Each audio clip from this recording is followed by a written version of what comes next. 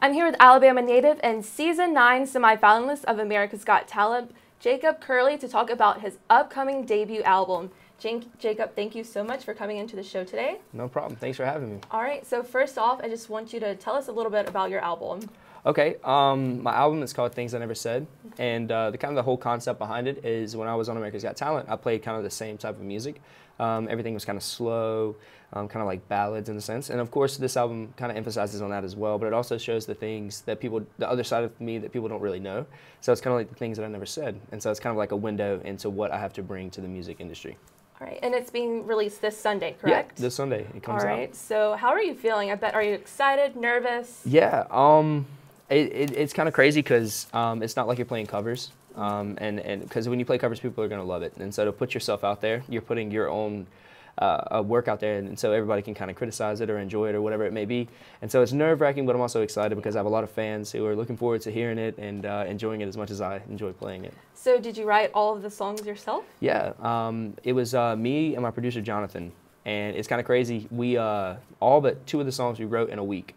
Um, we made the he produced everything and we wrote them in a week. I wrote all the songs and he produced all the, uh, the tracks and it, was it was really it kind of it kind of it, it, flew it flew by. It went really really quickly. But I think that's when music is created.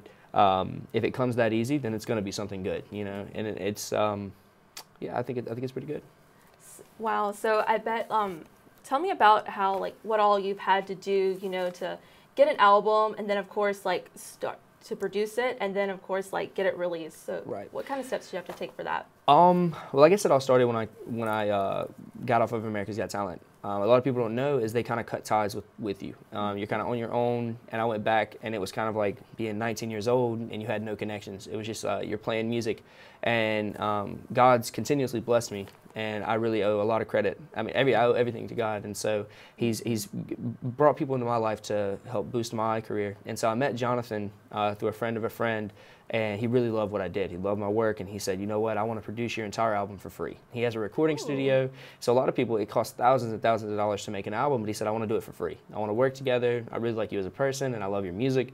So let's work together and do this." And we went on, and we kind of sat down and had a game plan. So we went on as independents. So we every dime that goes into the album we put into it, and so it's it it kind of emphasizes how excited I am to have this to go out because I want to bring it to my fans, and so I'm willing to lose money to gain money and to gain yeah. fans. You know what I mean? Mm-hmm. Um, and so it, it, was difficult to kind of wrap your head around um, not having a label, a major label behind us because there's always like a, a, a parachute you know, they'll help you out. And so it's kind of like when you're on your own, you have to make those key decisions and, and do all those things by yourself. But it, has been yeah. a blast, and I, I wouldn't want to do it any other way. So. Cool. So your album, like, which, how is it going to be released? So, and of course, I think Spotify and iTunes, any other platforms? Yeah, um, there's uh, Amazon Music, uh, as you said, iTunes, Spotify. Uh, and then iHeartRadio, I have a station for that, so it's going to play my album along with whatever sounds kind of like my album. Um, we also have hard copies, and so we put those on pre-order. Um, and uh, if you pre-order it, which it's still going on until Sunday, if you pre-order it, you get an autograph, a handwritten letter, and we ship it directly to you, free shipping and handling and everything. So, yeah, it's. Um, but you can still order a hard copy even after it comes out, um, and it comes with a booklet and everything, and, and kind of like a thank you to all the fans for supporting me as much as they have so far. How can you order a hard copy? A hard copy, all you have to do is go to uh, thingsineversaid.com and it'll come up and it'll have uh, it'll have just you can buy the single and it directs you to my iTunes page uh, if you don't want to buy the hard copy, but also it'll have a section for the hard copy and you get uh, you just click it and it'll ask for all the information and uh, yeah, that's it. Awesome. Well, I'm sure releasing an album that's been exciting for you. So now I want to talk some about your experience on America's Got Talent. So first of all, like what was that like for you being on there? It's it's it's hard to explain. Um, when you're 18 years old and you get out of high school, I was still in high school, and all your friends are like, oh, I'm going to Auburn, I'm going to South Alabama, I'm doing this, mm. and you have this secret because I couldn't tell anybody when I was on the show because it hadn't aired yet, and um, it, it, was crazy. I, I, went from having 100 followers on Twitter to having 4,000 in 20 minutes and wow. being the number one trending thing in the world that night. That was fantastic. And it was just a roller coaster ride. And, and going to New York and having people recognize you in your hometown, people coming up to you and, and saying that you're an inspiration and that they love what you do. And that's, that's something that I can't really express. I can't really put into words. It's just a feeling that I hope that everybody can obtain at some point in their life. Cool. Um, so what has it been like for you being pretty much known locally to now having like this entire fan base? Um, it's it's humbling um, because you still have those friends um, that have been there since the beginning, but also you have the new friends and the new fans that you've that you've made, um, and it's really cool because it, it's when you get on Twitter or when you get on Instagram and you just say something like "How's your day?" There's hundred people that are going to say "Mine's great," or this, or that, or that, and and also there's there's the side where a lot of people when I was on the show, um, especially with my story with me being adopted and being in the foster system, there are a lot of kids who were contacting me and saying like, you know what, you saved my life. Um, saying that they, they didn't know how long they were going to make it until they saw my video and it was inspirational to them. And it's things like that that are kind of like, it's more than just music. Um, and so it's kind of the message behind the music. And that's something that was really, really awesome about being on America's Got Talent because it gave me that platform. Mm-hmm. And to be able to help people out, that was, I mean, that was a dream come true.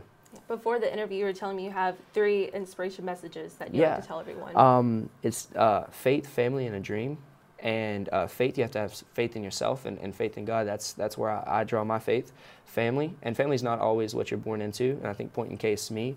Um, but it's also the people that you surround yourself with. Um, and it's if you have a goal you want to uh, surround yourself with people who have that same goal so you can both be successful.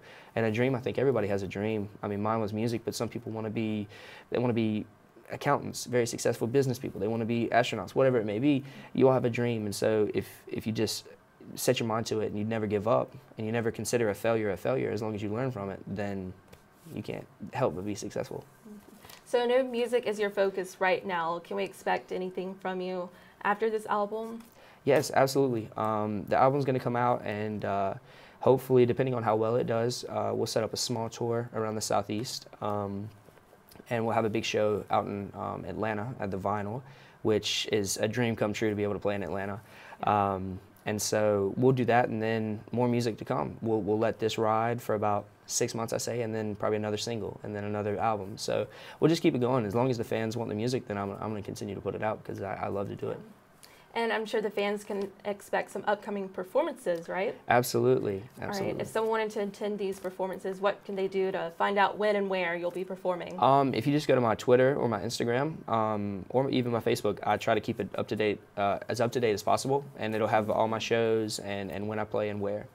Awesome. Well, thank you so much for joining us. Things I Never Said will be released this Sunday, July 24th. If you pre-order, pre-order it, of course, you'll get the single Finally Famous. So thank you again so much for coming in. We really enjoyed having you. And thank you for tuning in. For Eagle Eye TV, I'm Kacie Cooper.